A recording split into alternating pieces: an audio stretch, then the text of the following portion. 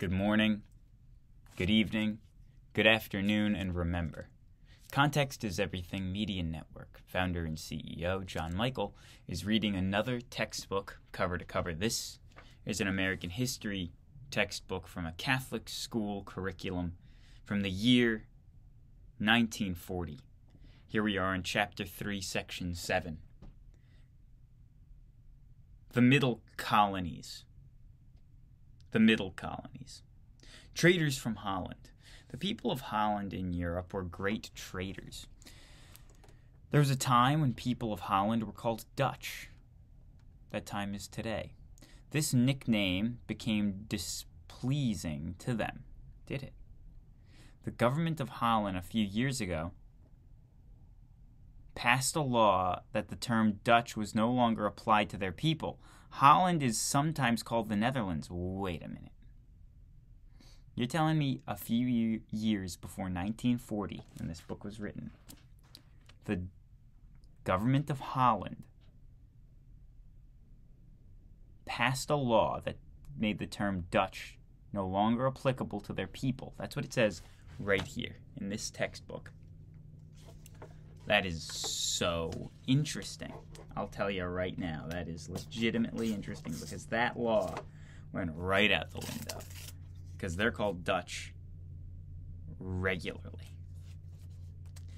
Okay. Traders from Holland um, were eager to enjoy the rich trade of the East. Groups of merchants in Holland formed the trading formed trading companies. These trading companies became very wealthy and very powerful. One of the trading companies hired Henry Hudson. He was able to he was an able English seaman. Uh, the trading company gave Henry Hudson common command of the small ship. This ship was called the Half Moon. It had a crew of 20 men. The trading company sent Henry Hudson on an explore, exploring trip to find a route across North America to the east. The voyage. Commanded by Henry Hudson, the Half Moon set sail to find a short route east.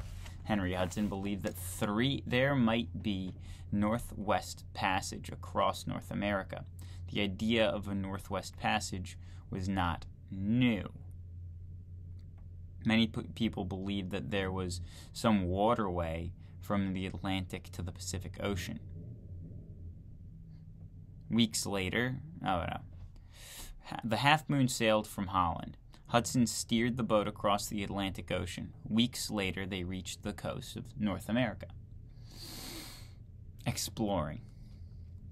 The crew, led by Henry Hudson, explored along the Atlantic coast. They searched from the Chesapeake Bay to the Long Island for a new an opening into the land. Their hopes were high when they noticed a large river uh, entered the sea just west of Long Island. Henry Hudson thought this stream might be an entrance to the Northwest Passage, for which he was looking. The Hudson River. Ever heard of it? The Half Moon was steered into a beautiful river. They sailed northward on, um, uh, on up the river. Soon they saw a natural wall of rock. This cliff like rocks rose straight up from the river. They were looking at the Palisades, a line of lofty, steep cliffs like those pictured is called, called the Palisades.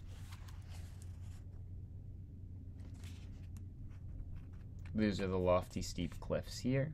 These are natives. This is the half moon.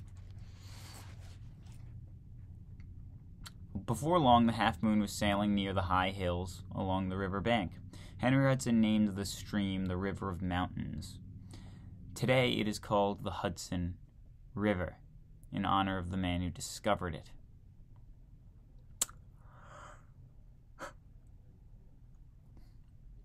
The scenery along the river was be- very beautiful.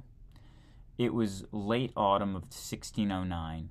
The autumn colors added great beauty. Henry Hudson steered the ship farther northward. The stream was becoming narrow and shallow. This showed Henry Hudson that the river was not passage across the continent. Hudson River is quite beautiful. Take a day cruise. It is pretty nice.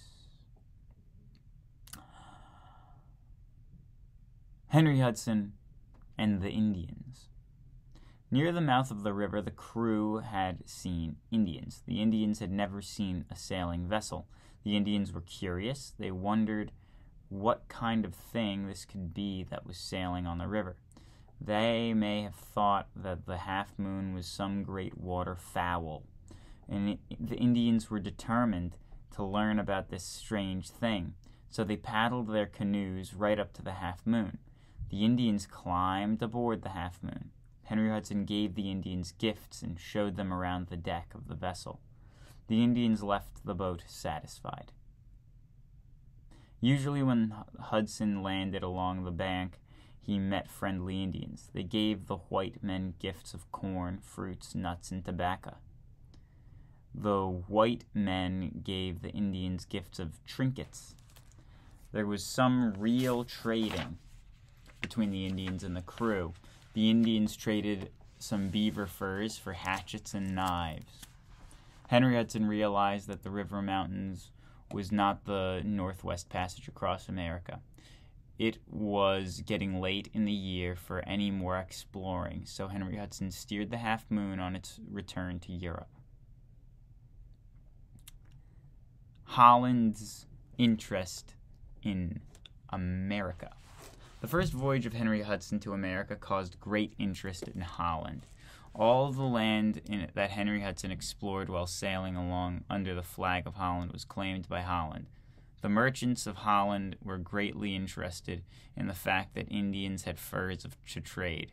Traders from Holland came to the island at the mouth. Holland, yeah, yeah. Traders from Holland came from the island at the mouth of the Hudson River. Traders wished to begin selling fur trading at once. Manhattan Island. The Indians called the island Manhattan the Dutch West India Company had been formed to carry on trade with this island. Settlers came from Holland to fo- found a colony on this island. New Netherlands.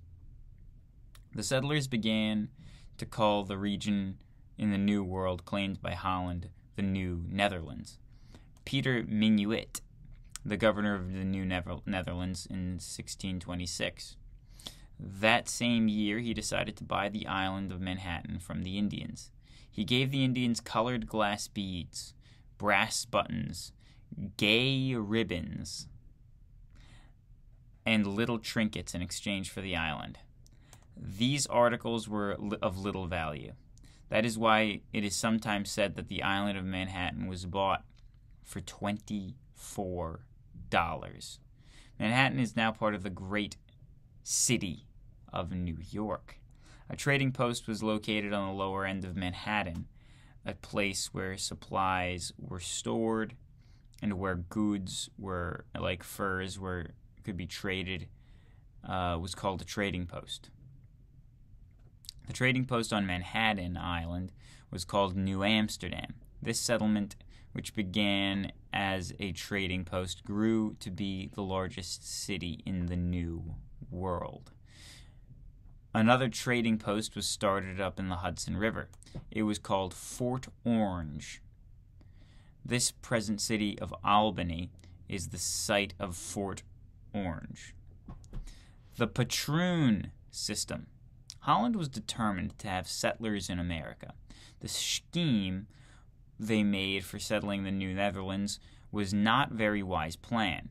Large tracts of land in New Netherlands were offered to members of Dutch West India Company. There were only a few rules. 1. Merchants must take at least 50 settlers to the new land. 2. He must pay all expenses. A merchant willing to undertake such a settlement was called a patron or a patroon. The patroon system did have some advantages, though. One, it helped bring settlers to America. Two, it held the land claimed by Holland. Three, it opened up rich farmlands And the patroon was a very powerful. He had powers to judge and rule over the farmers on his estate. Some patroons became very stern and very unfair to the farmers. The patroon system had some great disadvantages. One, people under the patroon had practically no political rights. Two, very large estates fell into the hands of few wealthy patroons. And three, the patroons became interested in gaining great personal wealth.